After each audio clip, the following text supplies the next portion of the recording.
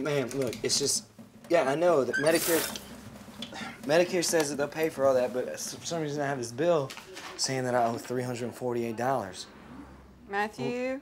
Matthew, yeah, but have I you got can't that pay that leaky kind of faucet mon- fixed yet? Yeah, I know. Get your dad to help.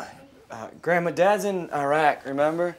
Hmm. So, look, what I'm really trying to figure out here is if we can maybe arrange some He's kind out of you know, front. business or something. Go help maybe him. if, you know, Medicare will pay for that as well. Matthew?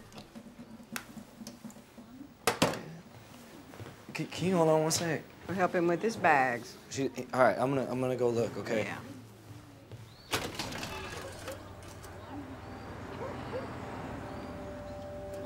Dad? Matt? You're home. You're home. You're home.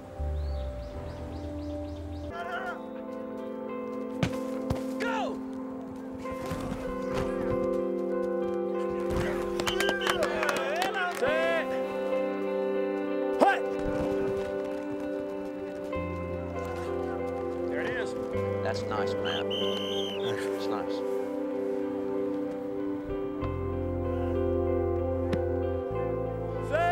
Coach Taylor, you seen this? Huh? Texas Football Magazine. Top 10 high school coaches in the state of Texas. You're on this list. Right there, Coach. Oh, there's no living with him now. Better watch what you say. It says up and coming. How about that? Coach, we're getting t-shirts with that on it. That'll be on the radio. Sweaters. It'll be all over That's the- a three minute break. Three minutes. Let's go. Hey, Dad. Looking good, Matt. Thanks.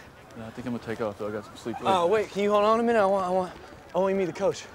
Here, come here, come here. Hey, guys, what, this is my dad. Coach, Yeah. uh, this, this is my dad, Henry Saracen. This is Coach Taylor. This, this is my dad. Hey, Taylor. how you Very doing? nice Pleasure to meet you. Pleasure to meet you. You're uh, uh you're on leave. Yeah, he- he's home for two weeks. Well, that's good. You can get to see your son play a little bit I then. hope so. Oh, he's done a hell of a job leading this team, I tell you. Not too much trouble from him, huh? Nah, he's a little bit of trouble. He's not Little too much trouble. A little bit of trouble, huh? He's got to be. Trouble. He's been a pleasure to teach. I can tell you that. I didn't know he had it in him. Well, he's got plenty in him. He's been a good team leader out here. I'll tell you what. You can be proud of your son.